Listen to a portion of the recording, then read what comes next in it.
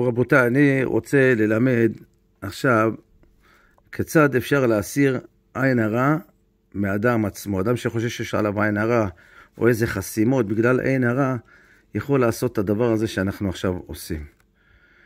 זה קיבלנו מחכם אה, יוסף שני, שהיה נכדו של הרב מנשה בסייעתא דשמיא, ככה עושים גם מקובלי ירושלים.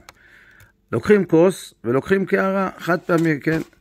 ממלאים את הכוס במים, ועכשיו שמים עשר כפיות, נשים עשר כפיות מלאות, אחת, שתיים, שלוש, ארבע, חמש, שש, שבע, שמונה, תשע, עשר. את השאר נזרוק, הנה שים פה בתוך אחד הכוסות, כן? לאחר שאנחנו שמנו עשר כפיות, אנחנו מרקנים את הכוס, שלא יהיה שום דבר בכוס. ומחזירים את הכוס. עכשיו, תטבול את הידיים שלך, את שני הידיים ביחד, כן? תרים אותם, נער אותם, לא פה, נער אותם בחוץ. יפה, כן? אתה יכול לנגב אותם גם, כן? עכשיו, אנחנו נטה את כל מה שנשאר במים, תראה כמה כפיות נשאר לך. אם נשאר אם יש עכשיו יותר כפיות של מים, הרי היה צריך להיות 10. אם, אם יהיה 11, סימן שיש לו עין הרע.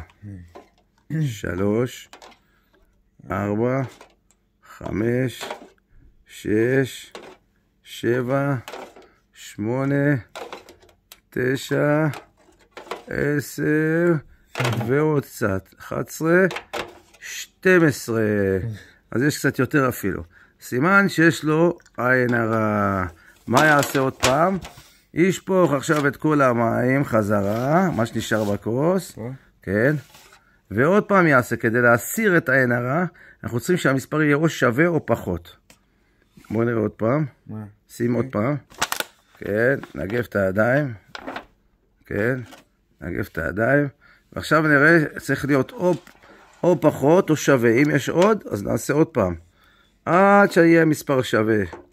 אחת, שתיים, שלוש, ארבע, חמש, שש, רגע נטש, שבע, שמונה, תשע, עשר, יש קצת יותר. נגיד, נגיד שזה עשר, יש יותר, 11. בואו נשים את זה חזרה בפנים, נרוקן לכוס, ועוד פעם.